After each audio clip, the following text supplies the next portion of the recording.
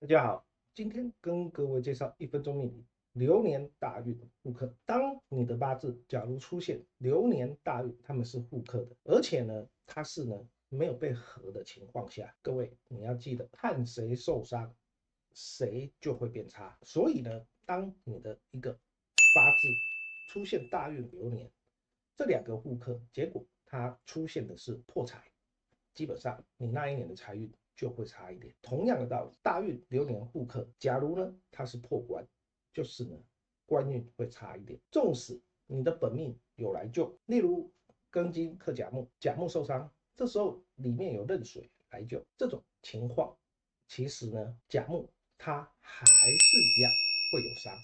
所以各位你就会知道，大运流年假如互克的一种情况，就表示说受伤的那一个部分，它的一个运势。就会呢比较差一点。今天就跟各位分享到这边，有空帮老师点个赞，我们下次再会，拜拜。